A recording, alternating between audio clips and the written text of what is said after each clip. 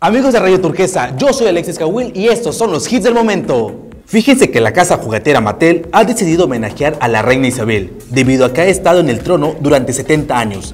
Se dice que la muñeca tendrá el rostro de la monarca y llevará el peinado original con el cabello corto y las canas blancas. Entre las características, la Barbie cuenta con un broche de la jaretera, que es parte de la decoración más alta y que solo ella y 24 personas más tendrán. Esta muñeca saldrá a la venta próximamente, pero únicamente las podrás conseguir por internet.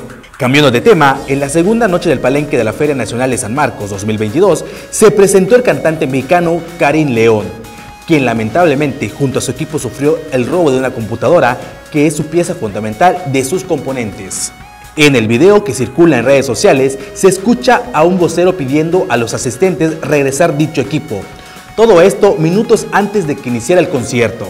Finalmente, el día de ayer, 21 de abril, se realizó la séptima edición de los Latin Amas, en donde la ganadora de la noche fue Carol G, quien a pesar de que no asistió a la ceremonia, fue reconocido con cinco nominaciones. A su vez, Bad Bunny también fue acreedor de dos premios, que fueron Sencillo del Año y Artista Favorito Masculino, destacando de esta forma que el género urbano sigue rebasando fronteras y que hoy en día está más presente que nunca.